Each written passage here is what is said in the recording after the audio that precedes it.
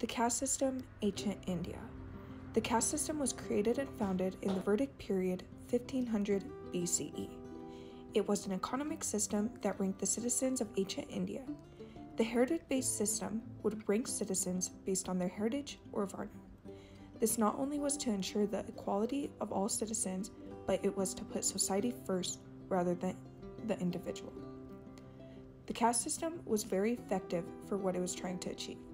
The people in each rank relied on each other and were equally fundamental to keep the system thriving.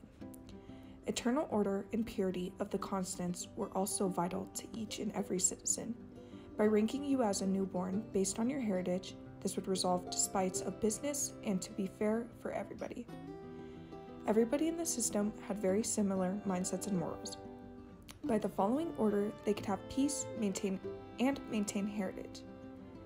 Teachings and laws include justice, harmony, mortality, ethics, and more. Essentially, these laws aim for the system, and all citizens include to live a noble lives and obey the laws. Each branch was required to do its part and keep the system flowing. The Brahmins were gurus and priests who carried extensive knowledge. The Kshatriyas were warriors and leaders that acted as the military of the system.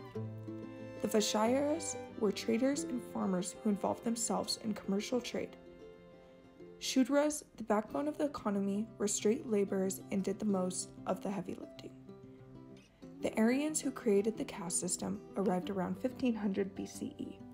They based the system off of Manusmriti. The Manusmriti was a book of Hindu law and is one of the oldest theoretic books in ancient history. The roots and ideals of the caste system still exist today and have many influences on Hindus. The caste system was a religious, social, heritage base on the previous family. The use of the heritage nature was to maintain peace throughout the economy. This prevented all and any disputes that people would have concerning what class or branch that they are in. Morals and pure consciences were essential to the prosperity of the each system. Overall, the system was very effective and still influences Hindu laws and religions today. It was one of the most effective heritages back in the Vedic period. Overall, the system was very effective and still influences Hindu law and religion today. It was named one of the most effective heritages back in the Vedic period. This is the caste system ancient India.